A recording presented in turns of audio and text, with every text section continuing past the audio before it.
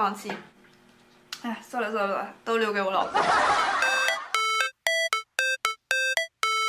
Hello，大家好，我是来台湾四年的当当。那我之前来台北交换学生的时候呢，就在夜市吃的不亦乐乎。在高雄呢住了两年半之后，原本我觉得有一点偏甜的咖喱饭。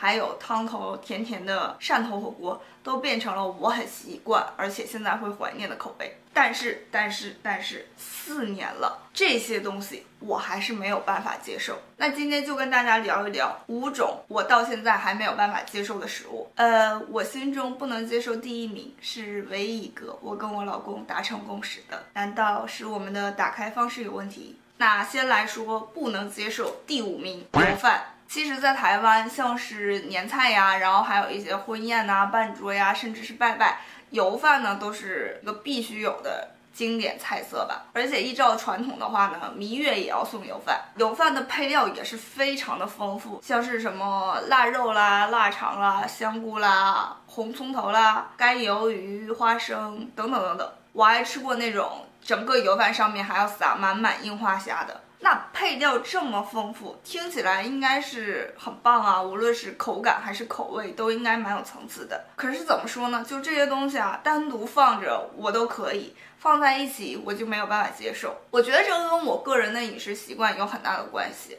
像是我从小呢就不太能接受饭跟菜放在一起的这种模式。甚至我小的时候龟毛到，如果我的米饭上面沾上了菜汤，那这碗米饭我就只能给我妈吃了。好险，我现在已经越来越宽容了，不然我岂不是就要错过矿肉饭了？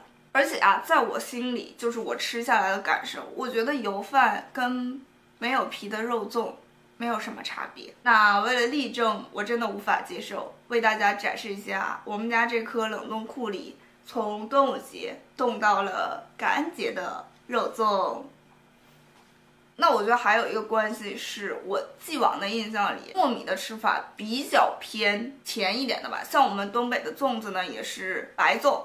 或者是包红枣啊、豆沙这些的，然后白粽我们煮熟之后呢，就会沾白糖或者蜂蜜。像我刚到厦门的时候啊，也是被厦门的咸粽进行了震撼教育。不过其实有一件有点荒谬的事情，就是其实台湾很多小吃嘛都是用糯米做的，像是米糕啊、饭团啊这种，我都吃的蛮开心的呢。我分析了一下，我觉得可能是肉松的关系，因为我很爱肉松，所以米糕给过。那不能接受的第四名。肉羹，其实我不能接受的不是肉羹，是羹。我还去 Google 了一下，就是羹这个东西呢，其实是台湾菜和闽南菜的一个很有代表性的一种做法。那羹呢，就是一种粘稠的浓汤，主要由菜、肉和勾芡。对，没错，这个问题就出在了这个勾芡上。我不喜欢这种黏黏糊糊的口感。那我今天也搞了一碗啊，大家不用担心，绝对不会浪费。这些呢，都只是我不吃，但是我老公吃呀。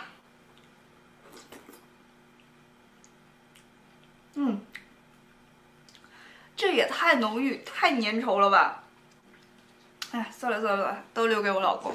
不能好好的搞一个汤吗？为什么要搞得这样黏黏糊糊的呢？吃吃了这个肉羹之后就不用吃主食了吗？就这个调味真的还。挺棒的，但就这个口感，直接在我这里就不行不行不行不行了。哦，对，我想起来，我之前在高雄呢有吃一家土托鱼羹，那个我可以，为什么呢？因为它的羹和它的鱼是分开的，所以我可以只吃鱼，然后给我老公喝羹。那不能接受第三名，它算是台湾一个很常见的食材了，可以卤啊，可以煎呐，还可以煮汤，台湾人的餐桌上应该蛮常出现的。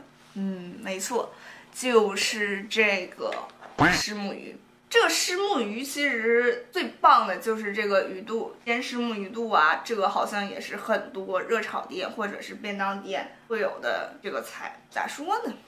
首先，我觉得虱目鱼有一个味道，就算是土味吗？我不知道这是不是一个普遍的问题。反正我之前有干过一次很智障的事情，就我拿虱目鱼去做水煮鱼，但即使是口味那么重的麻辣的那个水煮鱼，都没有办法盖过去鱼的那个味道。第二个问题是，虱目鱼有很多的细刺，就是你吃的时候要非常非常的小心，非常非常的慢，不然的话你就可能就是咽下去的才知道，那就很危险。我知道大家可能会说，就是你吃鱼肚一般就不太会有细刺了嘛？哎，那对我来讲就有了一个问题。你看这个鱼肚，鱼肚上面都会有一层这个很肥美的嗯部分。其实这个鱼肚也是因为它肥美，所以好吃。这个对我来讲就是不行啊，所以我吃之前我一定要把它都认真的剥掉，然后剥的就很辛苦，还会把那个整个鱼肚就是搞得破破烂烂的。所以我觉得这就是我们都没错，只是不适合，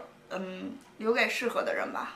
那现在来说，不能接受第二名了。最近啊，有一件轰动全台的事情，就是魔兽呢来台湾打球了嘛。我对篮球还好，但是有一个新闻吸引到我了，他爱吃鸡屁股。嗯，我一个亚洲人竟然在接地气这件事情上输给了一个美国人。鸡屁股这个玩意儿，我连机会都没给过他呀。其实有很多人不吃鸡屁股，可能是因为它是屁股，就是觉得那个地方可能有卫生的隐患。但是对我来讲呢，其实是因为我觉得它是肥肉。呃，我不吃肥肉，当然就也不吃皮。就是我曾经认真的问过我老公，吃鸡屁股这个口感是什么样的？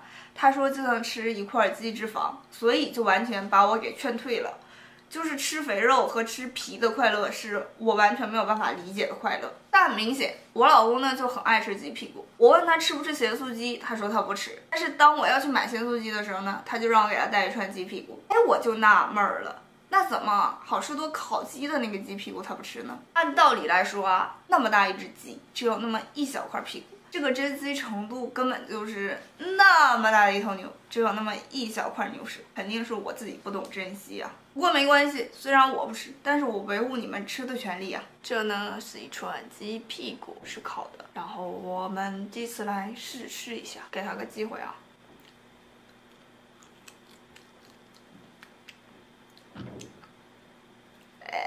放弃，最后就是这个不能接受的第一名，也是唯一一个我跟我老公都不能接受的东西，哎，就是乌鱼子。乌鱼子这个东西，我真的是来台湾之后才吃过，但是我之前有吃到过其他的鱼子的相关的料理吧。那这个无法接受乌鱼子的原因，我觉得说出来大家应该也可以理解，就是它味道真的重。又腥又咸，你说是因为我自己怕腥味吗？我觉得我不算是一个对腥味很敏感的人。像我从小就是家里离海很近嘛，所以吃很多海鲜。然后像是鱼卵、蟹黄这些也是我很爱的，包括什么明太子啊，我都 OK。但是不知道为什么这乌鱼子呢，就是我尝试过很多次，无论是家里长辈料理的，还是在外面餐厅吃的，还有那种现在就是那种一口装的。开袋即食的，呃，都不太对啊。就是一般乌鱼子呢，它不是一片乌鱼子，一片萝卜，然后还有蒜苗。可是萝卜很脆，乌鱼子呢很黏，所以我嚼着嚼着，萝卜已经咽下去了，乌鱼子还粘在我牙上，这是怎么回事啊？那就乌鱼子这事儿呢，我还跟我朋友讨论过，他断言我们这就是烹饪的方法不对。他当时给我讲了一套，就还蛮复杂的吧，好像还要用什么高粱酒这那的。嗯，我也是一脸懵，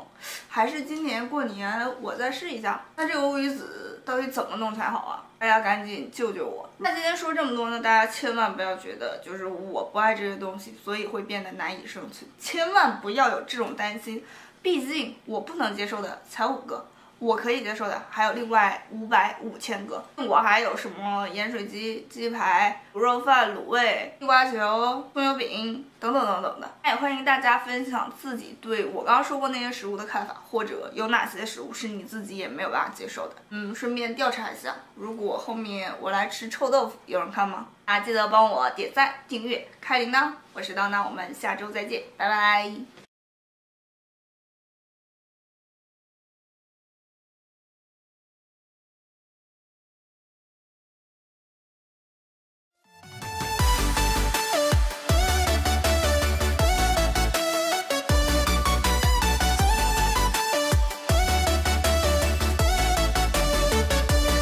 如果你也想成为下一位爆红创作者，请打开下方资讯栏链接，一起来投稿吧。